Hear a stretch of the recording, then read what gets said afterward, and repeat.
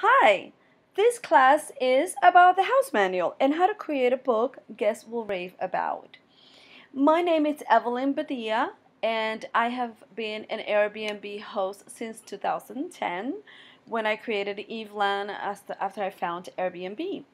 And in 2014, I started a consultation called Evelyn Badia where I teach all about Airbnb. In 2015, I had the pleasure and the honor to be at the Airbnb open as a host educator. But today we are talking about the house manual. And your house manual's job is that it answers questions before they are asked. So now the house manual comes in three parts. They are the essentials, which is the information about your home, the extras, information about your neighborhood, and what sets you apart, your city. Today we're talking about your home and what are the elements that are needed in your home's part of the house manual. Now, you need your address. I understand that you've given it to them in their invoice and that you guys might have it, but sometimes they need to call the car service or they might want to order some food. And instead of them having to look at a digital element or anything like that, it's great for them to have it available and accessible for them to quickly um, have it at their fingertips. So, the address for your space is a great thing to have in your house manual. In addition, contact information.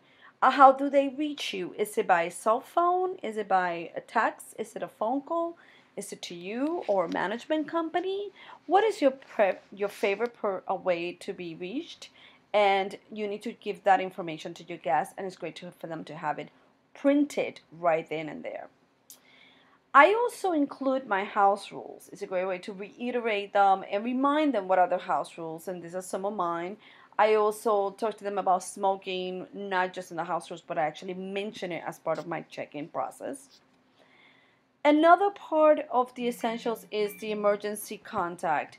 It's basically information about a hospital, how to call the police, how to call the fire department, where can they go to any nearby medical facility just in case they have an emergency they cannot reach you.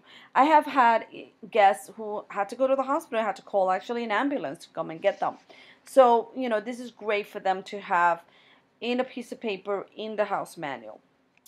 In addition transportation. What is the nearest transportation from your home and how to get there? And any information about cost um, remember, you, this is your home, this is your city, so you know your metro or your subway. But you know, if you use something else like a bus, what's the best way to get to and from?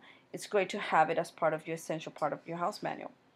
Home information, information such as your Wi Fi code, kitchen rules, whether you allow them to use the kitchen or you do not allow them to use the kitchen. Even if it's a private apartment and they have the kitchen and they have access to it, it is great for you to give them instructions on how to use the microwave.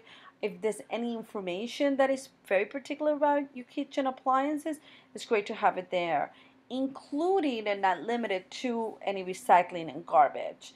In my house here in Brooklyn, we have tons of recycling information that I have to give them. So I have it printed out as part of the house manual.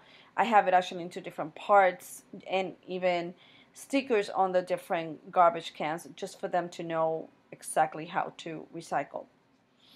Also information about your appliances, how to turn on the TV, is there anything that they need to know about the air conditioners, anything that you might think it's, you know, common sense, it might not be for them. Remember, they're not in your, they've never been in your house, they've never been in your country. So this is new for them, okay? In addition, pool and hot tub. If you have any of those amenities, it's great for you to provide any information that they might need. Do you allow glass near there? Do you, they need to drain anything? Do you have anything information about the usage of the pool and hot tub and any of those um, amenities? And also checkout.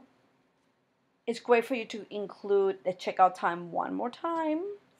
And also any information, whether it is you want them to strip the bed, you want them to take out the trash, whatever it is that you want them to do, it's great for them to have it in a house manual as part of the house part information just because they don't need to be digging for it. It's accessible, it's right there. Okay?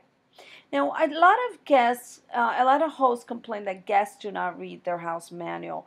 Now, something that I have done with mine is that I have added information about my neighborhood, from bakeries to restaurants to bars to tourist areas, and also about my city where the touristy uh, places, attractions, how to get to them, and any nearby restaurants to those attractions. So all of this information is a great way for you to direct your guests to read the house manual.